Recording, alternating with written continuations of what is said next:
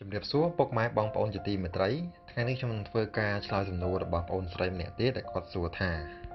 មូលហេតុអ្វីបានជាកូននឹងពោះគាត់នឹងគីឡូធំ4 5គីឡូអញ្ចឹងហើយកូនគីឡូធំអញ្ចឹងវាមានផលប៉ះពាល់អ្វីខ្លះ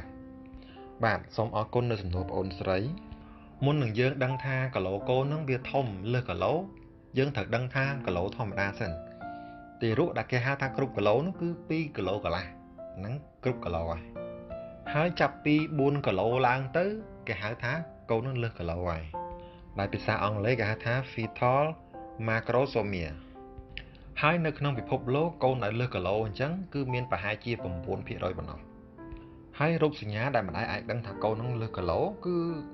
កម្ពស់ស្បូនគឺឡើងធំខ្ពស់ជាងធម្មតាដូចក្នុងរូបហើយនឹងទឹកភ្លោះរបស់ទារកច្រើន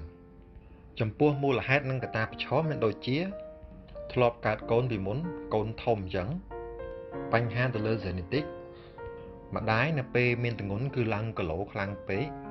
គីឡូដែលស្ត្រីមានផ្ទៃពោះដែលត្រូវឡើងអំឡុងពេលមានគភ៌ហ្នឹងគឺចន្លោះពី11ទៅ16គីឡូអាហ្នឹងគឺល្អ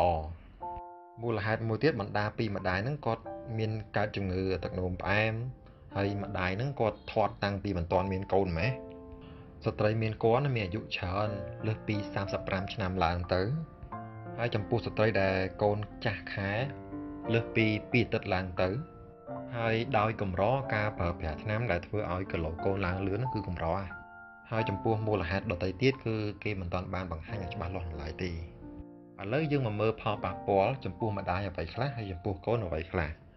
ឡូវផលប៉ះពាល់ចំពោះម្ដាយដែលកើតកូនមកគីឡូធំអញ្ចឹង ទី1អាចបណ្ដាលឲ្យរហែកស្បូន ទី2បណ្ដាលឲ្យធ្លាក់ឈាមច្រើនក្រោយសម្រាល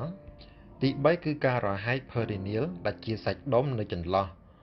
ផ្លូវភេទហើយនឹងរុនគូតក្រោយសម្រាលម្ដាយប្រឈមនឹងការបង្ករោគច្រើន ចំពោះផលប៉ះពាល់ចំពោះកូនវិញមានដូចជា ទី1ទារកកើតមកអាចកើតជំងឺធាត់ទី2មានជំងឺ metabolic syndrome ដូចជាកម្រិតជាតិស្ករឡើងខ្ពស់សម្ពាធឈាមឡើងខ្ពស់ឡើងខ្លាញ់ជាដើម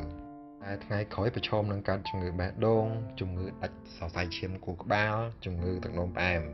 ហើយគេសង្កេតឃើញថាទារកដែលលើសគីឡូអញ្ចឹងពេលកើតមកច្រើនតែខ្វះជាតិស្ករសូមអរគុណ